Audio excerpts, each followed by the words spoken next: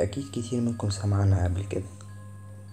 مدينة غامضة ومخيفة موجودة من آلاف السنين.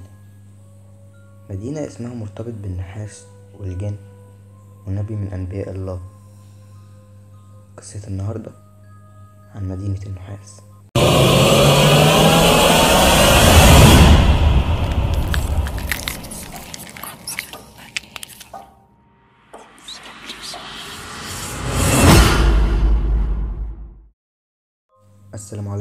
الله وبركاته. أهلا بكم في قناتي على يوتيوب مدينة القصص.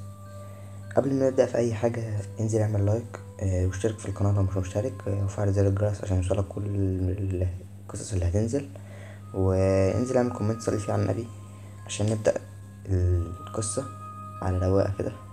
وحضر نسكافيهك ويلا بينا نبدأ في قصة النهاردة عشان مطولش عليكم أكتر من كده. يلا بينا. في البداية لازم نعرف إيه هي مدينة النحاس. وهل اللي بناها الجن فعلا؟ فركزوا بقى ويلا نبدأ. أول حاجة مدينة النحاس هي مدينة غريبة ومخيفة عمرها آلاف السنين. اتكلم عنها المؤرخين عبر التاريخ وقالوا إن فيها كنوز عظيمة وعلم كبير وبجوارها بحيرة مليانة بالكنوز. وبالنسبة لمين اللي بناها؟ فاختلفت الآراء. فمنهم اللي قال إن اللي بناها الملك ذو القرنين. وحط فيها جميع كنوزه وثروته الضخمة وخلى الوصول ليها صعب جدا عشان يمنع أي حد من دخولها الحصول على الثروة دي الموجودة فيها. أما الرأي التاني إن اللي بناها هما الجن بأمر من سيدنا سليمان عليه السلام. والرأي ده جه بسبب القصة اللي اتنشرت عن الحاجة المرعبة اللي بتحصل في المدينة آه، والحالة الغريبة اللي بتحصل لأي حد بيحاول يدخل المدينة. وأما عن اكتشاف مدينة النحاس ففي روايتين مشهورين عن مدينة النحاس. الرواية الأولى إن الخليفة الأموي عبد الملك بن مروان سمع عن قصص وأحداث مخيفة بتحصل في مدينة النحاس وسمع كمان إن فيها كنوز وعلم كبير. فقرر استكشاف المدينة دي وهل ال... عشان يعرف هل اللي بيحصل فيها ده حقيقي والكنوز دي حقيقية ولا خرافات؟ فأمر قائد الجيش اللي كان وقتها موسى بن نصير إنه يتحرك بجيش كامل لاستكشاف المدينة والكنز الموجود فيها وبعدها يعرفوا بكل التفاصيل اللي عرفها عن المدينة. وفعلا جهز موسى بن نصير جيش عدده ألف جندي وأخدوا معاهم أكل يكفيهم ست شهور وتحركوا لاستكشاف المدينة الغامضة دي. استمرت الرحلة للوصول للمدينة تلاتة وأربعين يوم لحد ما أخيرا بدأوا يشوفوا لمعان وبريق مدينة النحاس. فبعت موسى بن نصير مرسال للخليفة عبد الملك بن مروان يبشروا بأنهم آه، قدروا يشوفوا بريق المدينة وإن باقي أيام بسيطة جدا ويكونوا وصلوا للمدينة. وبعد الوصول عند سور أو أسوار المدينة كان الوقت اتأخر فصلوا العشاء وقرروا إنهم آه، يباتوا الليلة دي ويبدأوا استكشاف المدينة اليوم التاني. لكن الليلة دي كانت ليلة مخيفة جدا ومرعبة.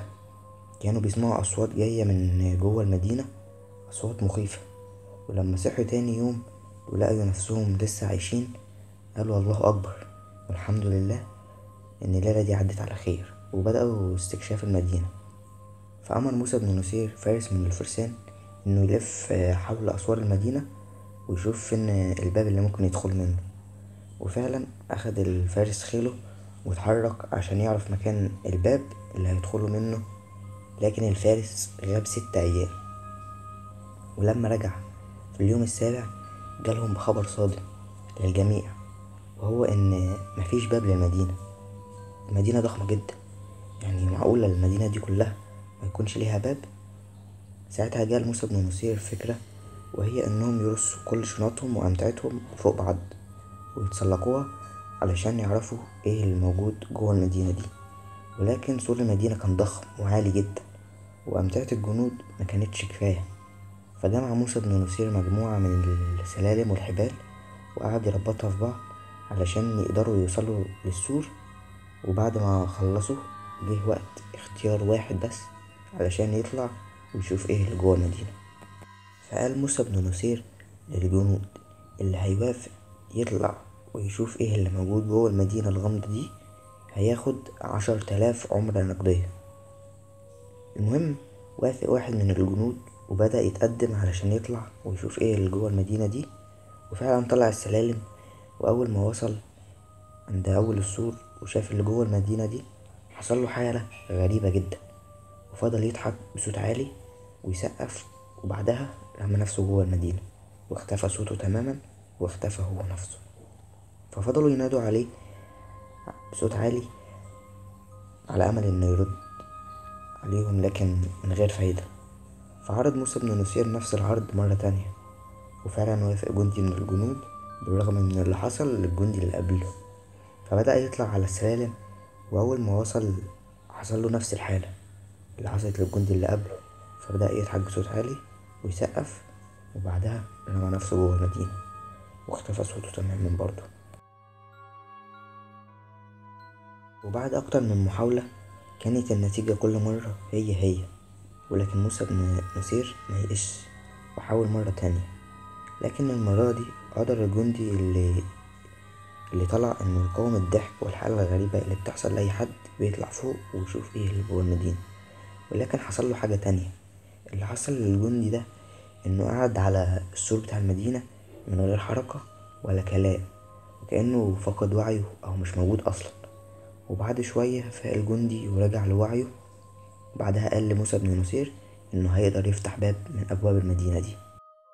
وأما عن اللي شاف الجندي ده جوه المدينة ففي رواية بتقول إن الجندي شاف جوه المدينة عشر نساء فاتنات جميلات جدا وكانت كل واحدة منهم بتحاول تغوي علشان يرمي نفسه جوه المدينة وبعدها يختفي. ولكن الجندي ده قدر يقاوم ومستسلمش بسهولة. قدام اللي شافه بالرغم من إنه كان مسلوب الإرادة.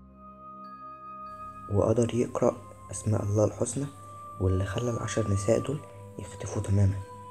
بعدها قام الجندي وبدأ يمشي على السور لحد ما وصل عند برج شبه برج المراقبة ولقى جواه تمثال من النحاس وكان على شكل فارس راكب حصان.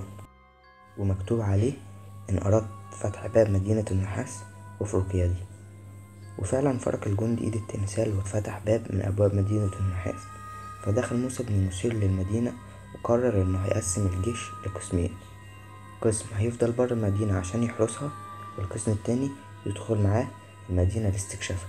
ودخل موسى بن نصير والجيش للمدينة وكانوا هما ماشيين في شوارع المدينة بيلاقوا ناس كتير واقعين على الأرض. فافتكروهم في الأول إنهم ميتين وجثث لكنهم اكتشفوا بعد كده إنهم نايمين مش ميتين. ففضلوا ماشيين في المدينة لحد ما وصلوا عند قصر ضخم جدا. فقرر موسى بن نصير إنه يدخل القصر هو والجنود لاستكشافه ولكنهم اتصدموا من اللي شافوه. فكان القصر مليان بالمجوهرات والكنوز. وفضلوا هما ماشيين جوه القصر الضخم ده. فضلوا يلموا من المجوهرات والكنوز الموجودة جوه القصر.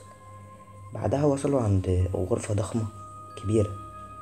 في القصر ولما فتحوها لقيوا فيها ست جميلة جدا ملابسها كلها من الحرير ونايمة على سرير في الغرفة ولقيوا جنبها تمثالين على شكل جندي شايل سيف من نحاس ولما قربوا من الست دي افتكروها عايشة لأن عينيها كانت مفتوحة ولكن اكتشفوا حاجة غريبة جدا هو إن الست دي عينيها اتشالت من مكانها أصلا وبعدها رجعت تاني وشافوا كمان لوحة فوق سرير الست دي مكتوب فيها خذ ما شئت من المجوهرات ولكن لا تأخذ المجوهرات التي أرتديها. وكانت الست دي لابسة تاج في غاية الجمال. وده اللي خلى جندي من الجنود يحاول إنه ياخد التاج ده والمجوهرات اللي كانت الست لابساها. بالرغم من التحذير اللي كان مكتوب على اللوحة وأول ما لمس الجندي التاج علشان ياخده اتحرك التمثالين اللي كانوا موجودين جنب الست وقطعوا راسه وبعدها رجعوا لمكانهم تاني بنفس الوضعية اللي كانوا عليها ولا كأن حاجة حصلت. فخرج موسى بن نصير وجنوده من القصر وفضلوا ماشيين لحد ما وصلوا عند جبل كبير جوه المدينة وشافوا عند الجبل ده مجموعة من البشر. كانت بشرتهم سمرة فافتكروهم من مرضة الجن ولكن اكتشفوا إنهم مش جن لكنهم بشر زيهم. وانهم من أبناء حام ابن سيدنا نوح عليه السلام. فنزل ملكهم واتكلم مع موسى بن نصير علشان يعرفوا سبب وجوده هو والجيش في المدينة. فاتصدم موسى بن نصير من اللي عرفوا عنهم خصوصا إنهم كانوا بيعبدوا ربنا وإنهم عارفين الإسلام إزاي أصلا وهما ما وصلهمش نبي ومفيش نبي جالهم أصلا. فقال ملكهم لموسى بن نصير إن في بحيرة جنب الجبل الضخم ده اللي عندهم. بيخرج منه نور عظيم من وقت للتاني وهو ده اللي بيعلمهم إزاي يعبدوا ربنا. دي كانت الرواية الأولى عن مدينة النحاس. أما الرواية التانية فهي مرعبة ومخيفة أكتر من الرواية الأولى. يلا ندخل في الرواية التانية. يلا بينا. الرواية التانية بتقول إن موسى بن نصير لما وصل عند المدينة لقى عندها تمثال قبل ما يدخل المدينة ماسك لوح من نحاس وكان مكتوب في اللوح ده إن المدينة مفيهاش أي مجوهرات أو كنوز أو حتى علم كبير. وبيؤمر اللي بيقرأ الرسالة دي يرجع أحسن وما يحاولش يدخل المدينة وإلا هيهلك. لكن موسى بن نصير مهتمش بالكلام ده اللي كان مكتوب وقرر إنه يدخل المدينة وأول ما دخل لقى المدينة جميلة جدا وإن في شجر كتير. فاستغرب هو والجنود إزاي مدينة بالجمال ده اللي يدخلها يهلك. ولكنهم اتفاجئوا بهجوم نمل كتير جدا بأحجام ضخمة من بين الأشجار الكتير اللي كانت موجودة جوه المدينة. وقدر النمل ده إنه يقتل عدد كبير جدا من الجنود والخيول اللي كانوا جوه المدينة مع موسى بن نصير. وبعدها راحوا ناحية الجنود اللي كانوا برا المدينة علشان يحرسوها. ولكن النمل جه عند حدود المدينة وتحديدا عند التمثال اللي كان ماسك لوح التحذير وما اتحركش خطوة زيادة. وقدر عدد قليل جدا من الجنود اللي كانوا مع موسى بن نصير إنهم يهربوا وينجوا من الموت ده ويرجعوا للمدينة بدون حل. لغز مدينة النحاس. وأما عن مكان مدينة النحاس فقال بعض المؤرخين من ومن ضمنهم أبو حامد الأندلسي الغرناطي إن مدينة النحاس موجودة في دولة المغرب من جهة الغرب على ساحل البحر الأبيض المتوسط. وقريبة جدا من مدينة طنجة وإنها على بعد أمتار من مضيق جبل طارق. ويقال أيضا إن مدينة النحاس هي مدينة تطوان حاليا. بس وكده تكون قصة النهاردة خلصت. من وجهة نظرك أنت بقى أنهي قصة تبان واقعية أكتر أو حقيقية؟ ياريت تشاركوني رأيكم في الكومنتات ولو وصلت معايا لحد هنا ولسه ما عملتش like فانزل اعمل like دلوقتي ولو مش مشترك ياريت تشترك وتفعل الجرس عشان يوصلك كل جديد وهتتبسطوا معايا في القناة. أه واستنوني في رمضان قصة جديدة كل يوم بعد الفطار. والسلام عليكم ورحمة الله وبركاته. أشوفكم في فيديو جديد. سلام.